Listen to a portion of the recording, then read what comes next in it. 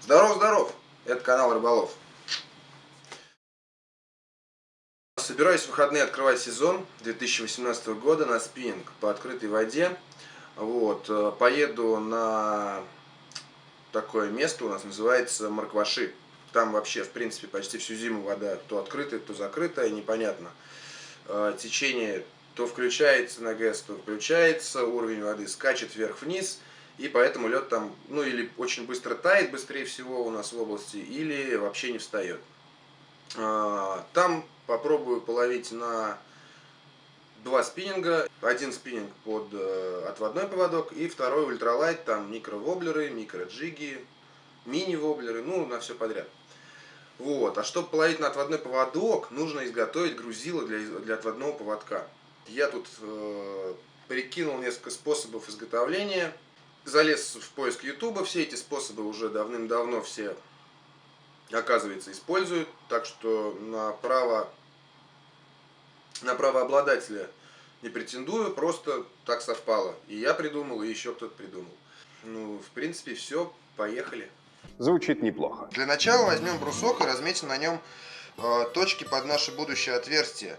Э, часть отверстий будет десятка, э, часть отверстий сделаем шесть с половиной.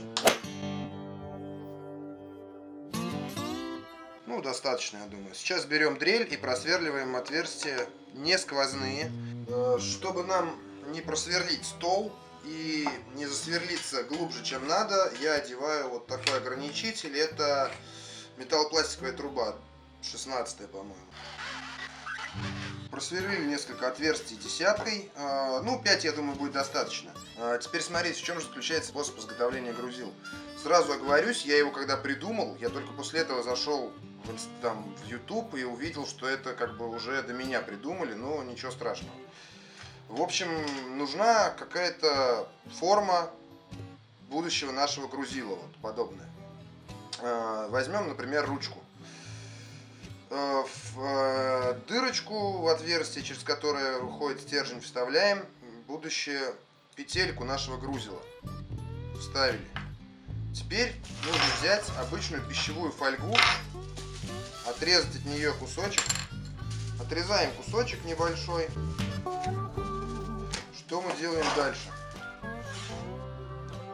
Вставляем петельку и обматываем этой фольгой нашу ручку. Так, чтобы край заходил на петельку. Получается вот такая вот гильза, которую, которую мы снимаем и эти гильзочки мы вставляем в отверстия. Вот в эти отверстия как раз десяточные. Они просто как подставки служат.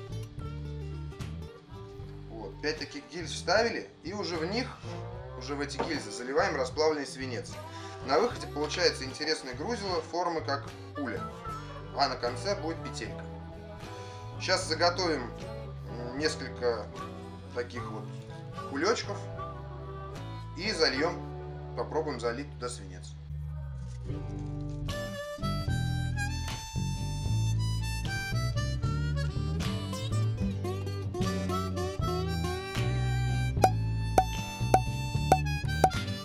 Свинец расплавился. Теперь его аккуратненько заливаем в наши э, кулечки. Но это не точно.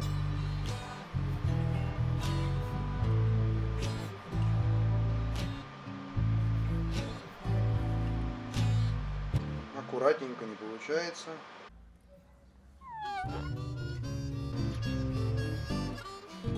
Теперь ждем, когда это все застынет и будем разворачивать как конфетки. Я их принудительно охладил холодной водой. Достаем. Раз, два, три, четыре, пять. Соответственно, подставку вот эту можно использовать сколько угодно раз.